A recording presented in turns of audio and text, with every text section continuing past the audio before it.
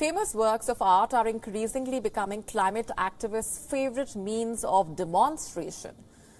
After Van Gogh's artwork, uh, protesters now targeted Vermeer's world-famous girl with a pearl earring painting. A climate activist glued his head to the glass covering of the famous Dutch artwork. Another one glued their hands to a nearby wall and also threw soup on the girl with the pearl earring.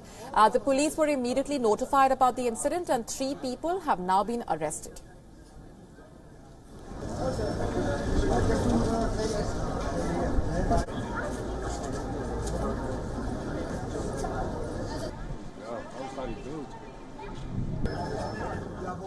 even though I, I might be even uh, in favor of what they want to achieve, uh, this is not the way to do it. And I don't think they will get a lot of um, support by the public.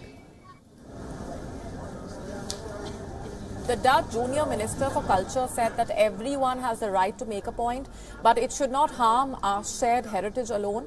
A representative of the Just Stop Oil Group in the UK said the the protests in The Hague had not been coordinated and the activists were not affiliated with the group.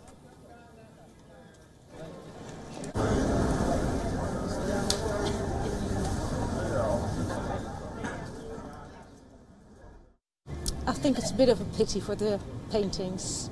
I mean, they didn't do anything wrong, so I'd rather them, you know, I rather them to pick another subject and not something historical as het Meisje met de Parel.